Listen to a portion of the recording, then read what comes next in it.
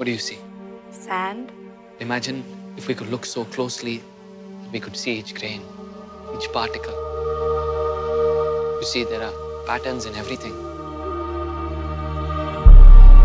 Integrals, infinite series. I've never seen anything like them. From an Indian clerk, ill educated in Madras, I would very highly value any advice you give me. A letter for you.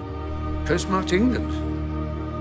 Yours truly, S. Ramanujan. What does the S stand for? You can ask him yourself. You intend to invite him here?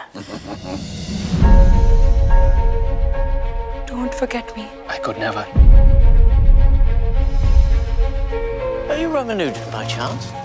Oh, don't be intimidated. Great knowledge comes from the humblest of origins. For the good of everybody, you should attend some lectures. But I'm here to publish. The letter only contained a small sampling of my discoveries. This will take a lifetime. Maybe two.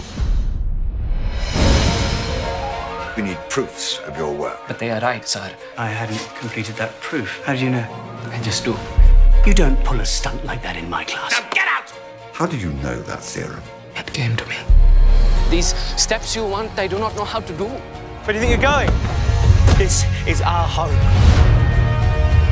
Don't you know what I've given up to be here? I have nothing. You wanted to know how I get my ideas. God speaks to me. There are no proofs. We're just supposed to take him at his word. No, you're to take him at mine.